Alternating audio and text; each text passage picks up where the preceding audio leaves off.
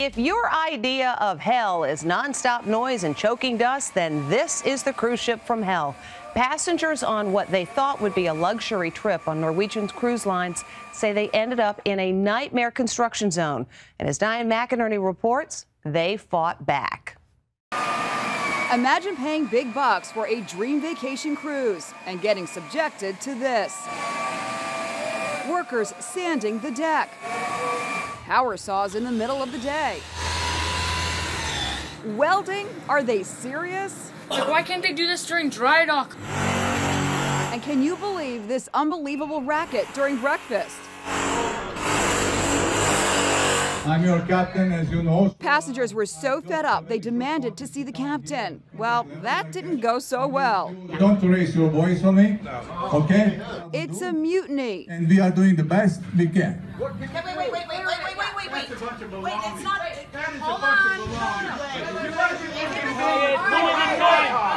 After just three minutes, the captain storms off to a chorus of jeers.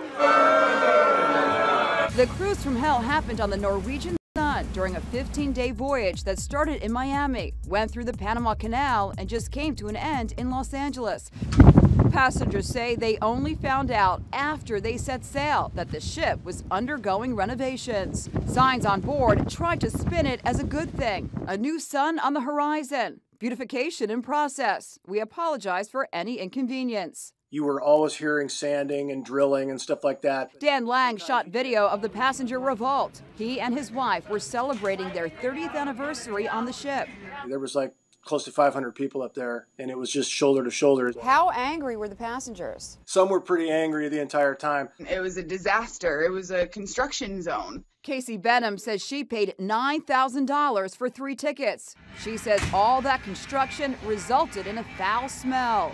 It was a very noxious chemical smell. It was awful and it was everywhere. Two thirds of the ship at one point was closed down due to sanding, blasting, welding, jackhammering. May Claire Locke just started a Facebook group for passengers on board the ship to vent their anger. So far, more than 800 have joined and counting. It was unbelievable what we had to go through. Horrific, absolutely horrific. Norwegian said in a statement, quote, the safety and satisfaction of their passengers is their utmost importance. But they admit on this cruise they didn't meet the expectations of their guests. They also offered a free trip to all 2,000 passengers.